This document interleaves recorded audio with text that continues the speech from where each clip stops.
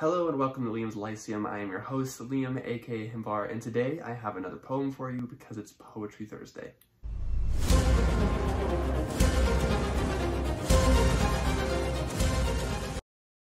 It's also Sword and Sorcery November, so again I have another Sword and Sorcery feel type poem for you. Now, unfailingly, this is the third of three poems I've shared for Sword and Sorcery November that is also by Robert E. Howard, who's the creator of the genre, so that's fitting.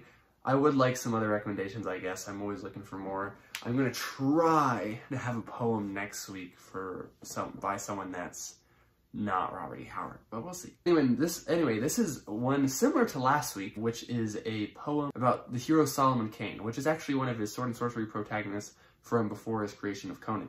And that poem is The Return of Sir Richard Grenville. And I'm just going to read it here. It's it's pretty short. So It's not as long as last week's. And, you know, I actually like it as far as the actual flow of it, it's not pretty bad. It tells a story similar to last week's as well. And so that's one thing, though, that Howard's not known for the greatest poetry, but the stories he tells in his poetry are actually pretty darn good, and he is a good storyteller. So let's get right into it, though. The Return of Sir Richard Grenville. One slept beneath the branches dim, cloaked in the crawling mist, and Richard Grenville came to him and plucked him by the wrist. No night wind shook the forest deep where the shadows of doom were spread, and Solomon Kane awoke from sleep and looked upon the dead. He spoke in wonder, not in fear. How walks a man who died?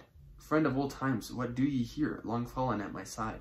Rise up, rise up, Sir Richard said. The hounds of doom are free. The slayers come to take your head, to hang on the juju tree. Swift feet press the jungle mud, where the shadows are grim and stark, and naked men who pant for blood, and racing through the dark. And Solomon arose and bared his sword, and swift as tongue could tell, the dark spewed forth a painted horde like shadows out of hell. His pistols thundered in the night, and in that burst of flame he saw red eyes with hate alight, and on the figures came. His sword was like a cobra's stroke, and death hummed in its tune. His arm was steel and knotted oak beneath the rising moon. But by him sang another sword, and a great form roared and thrust, and dropped like leaves the screaming horde, writhe in bloody dust. Silent as death their charge had been, silent as night they fled, and in the trampled glade was seen only the torn dead.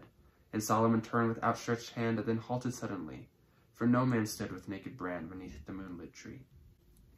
And so it seems like to me that Sir Richard, his friend, had come back to help him, but was, you know, just like a ghostly apparition or like some Eidolon or something of the sort. I haven't, still haven't read any Solomon Kane, it's only been a week, but uh, I do look forward to understanding these poems a little bit more, but regardless, it does tell a story, and it tells us a good story, I mean, about Solomon Kane seemingly rising from probably unconsciousness to fend off some foes, and, you know, turning to thank his friend who was not actually there. Um, at least not physically. And, you know, it's one I really like, but, you know, that's, I don't have a lot to say this week. Um, I just, I just enjoyed it. I, I left it here for you to enjoy as well. And again, it's Sword and Sorcery in November, so pick up something, some Sword and Sorcery. Some Robert E. Howard's a great one. Any other by Fritz Leiber, Michael Moorcock, any modern authors. Again, it's all great. And and it's also Poetry Thursdays, so maybe read a Sword and Sorcery poem for Sword and Sorcery November and Poetry Thursday. But anyways, this is Liam with Liam's Lyceum. I'll catch you next time.